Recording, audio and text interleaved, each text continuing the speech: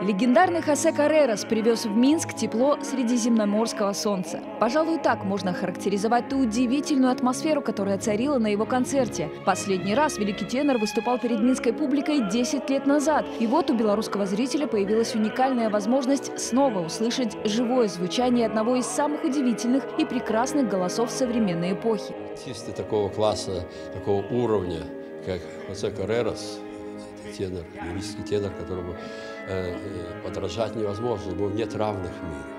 Съемочной группе нашей программы посчастливилось побывать на репетицию перед концертом, которая состоялась в зале Белгосфилармонии. Сама возможность увидеть звезду мирового уровня во время творческого процесса в неформальной обстановке, понаблюдать за работой над музыкальным материалом – событие уникальное, которое позволяет по-новому понять артиста и как профессионала, и как человека. No, no, this is not original.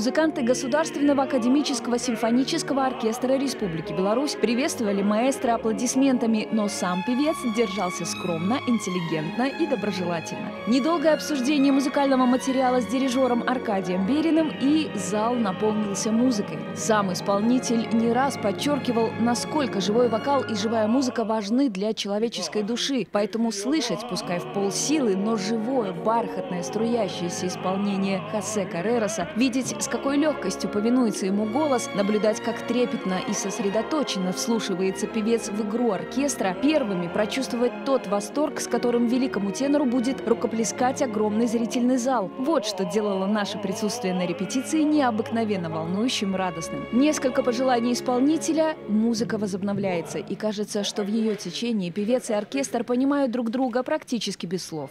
Когда ты слышишь живую музыку, живые эмоции, живые страсти, это, я думаю, залог того, что человечество будет вечным. Уже во время репетиции остро чувствовалось, насколько красочно и интересной обещает быть эта программа, поскольку практически все составляющие ее произведения посвящены различным граням и оттенкам самого прекрасного чувства на свете – любви.